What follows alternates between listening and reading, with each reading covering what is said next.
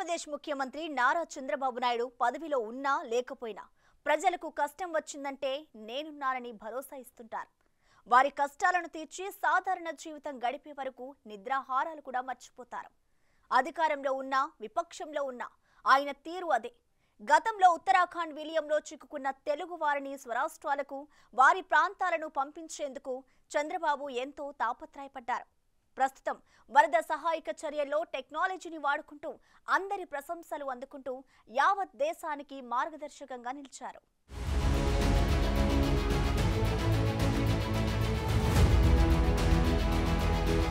అధికారం అంటే అంగు హార్బాటం కాదు. కష్టాల్లో ఉన్న ప్రజల్ని ఆదుకోవడమే అని నిరూపిస్తున్నారు కూటమి మంత్రులు. కనీ విని ఎరగని రీతిలో వరద బెజవాడ నగరాన్ని జలదిగ్బంధం చేస్తే ముఖ్యమంత్రి నారా చంద్రబాబు సహా కూటమి ప్రభుత్వ మంత్రులంతా క్షేత్రస్థాయిలో సహాయక పునరావాస కార్యక్రమాల్లో భాగస్వాములై నిర్విరామంగా పనిచేస్తున్నారు. బాధితులకు అండగా ఉంటామని భరోసా కల్పిస్తున్నారు. ఓవైపు సహాయక పునరావాస కార్యక్రమాల్లో పాలు పంచుకుంటూనే మరోవైపు సమీక్షలో పాల్గొంటూ మరింత మెరుగైన సేవలు అందించే విషయంలో కార్యాచరణ రూపొందిస్తున్నారు.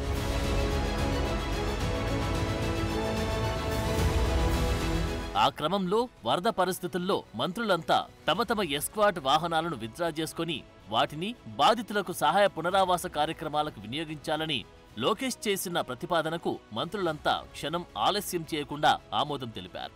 దీంతో వరద నేపథ్యంలో మంత్రులంతా ఎస్క్వాట్ వాహనాలు లేకుండానే సహాయక పునరావాస కార్యక్రమాల్లో పాల్గొంటున్నారు. వారి ఎస్కాట్ వాహనాలు బాధితులకు నిత్యావసర వస్తువులు ఆహారం తాగునీరు మందులు తరలించే వాహనాలకు ఎస్కాట్గా ఉంటున్నాయి.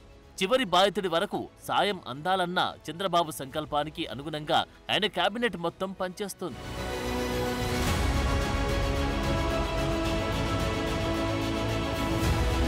ఇప్పటికే సహాయక చర్యల కోసం ప్రత్యేక విమానాలను ఏర్పాటు చేశారు.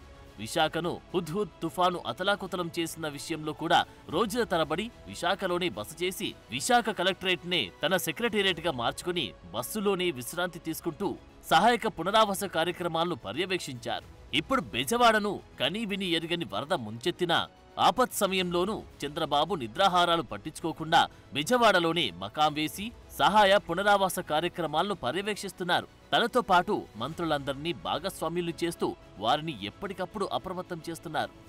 మొత్తం వ్యవస్థ పెరాలసిస్ వచ్చింది. ఐదు సంవత్సరాలు పనిచేయడం మానేశారు. నేను ఇంకా ఏం చేయాలో నాకు కూడా తెలియని పరిస్థితికి వచ్చా ఇప్పుడు. అందుకే ఇప్పుడు ఒక ఆఫీసర్ సస్పెండ్ చేశారు జక్కంపూడిలో ఒక ఆఫీసర్ సరిగా తీసుకపోతే మార్నింగ్ అప్పుడే సస్పెన్షన్ అయింది. ఎక్స్ప్లెనేషన్ కాల్ ఫార్ చేశాను. ఇంకెవరిని నేను ఉపేక్షించను?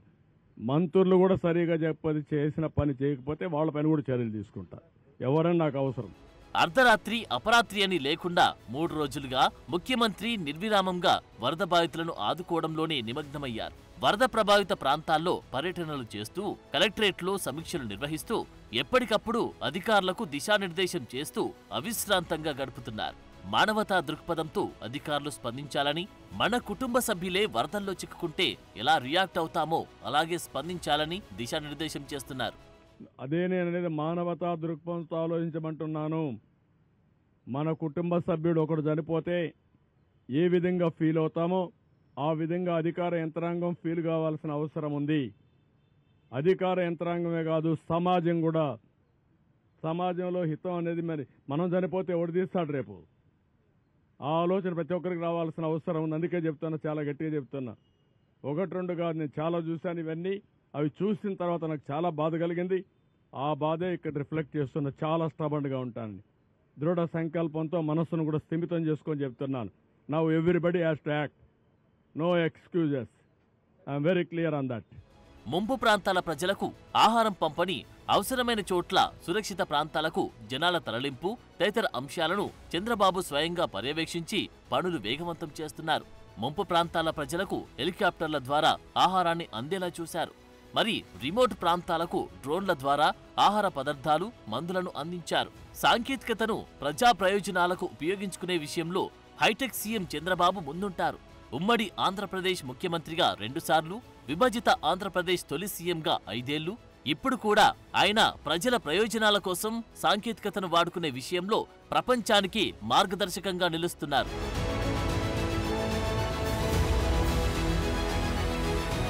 విజయవాడలోని ముంపు ప్రాంతాలను చేరుకోవడానికి ఉన్న అన్ని మార్గాలను ఉపయోగించుకున్నారు. బోట్లు హెలికాప్టర్ల ద్వారా కూడా చేరుకోలేని ముంపు ప్రాంతాల్లో బాధితులను ఆదుకునేందుకు ఆయన డ్రోన్లను వినియోగించారు. వాటి ద్వారా ఆహారం నిత్యావసరాలు అత్యవసర మందుల పంపిణీ జరిగేలా చూశారు. బహుశా ముంపు ప్రాంతాల ప్రజలను ఆదుకునేందుకు డ్రోన్ల వినియోగం దేశంలో ఇదే మొదటిసారి అంటున్నారు. ఇటీవలి కాలంలో డ్రోన్ల ప్రయోజనం ఉపయోగాల గురించి పదే పదే చెప్పిన చంద్రబాబు సరిగ్గా అవసరమైన సమయంలో వాటిని సంపూర్ణంగా వినియోగించి ప్రజలను ఆదుకున్నారు.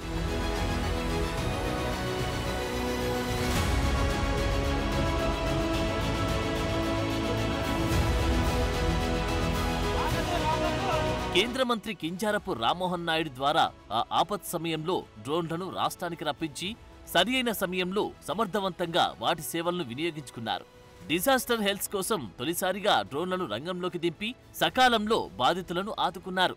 ఆయన విజన్కు ప్రజలకు కష్ట సమయంలో అండగా నిలవడానికి ఉన్న ఏ అవకాశాన్ని వదులుకోని పట్టుదలకు సర్వత్రా ప్రశంసల వర్షం కురుస్తోంది.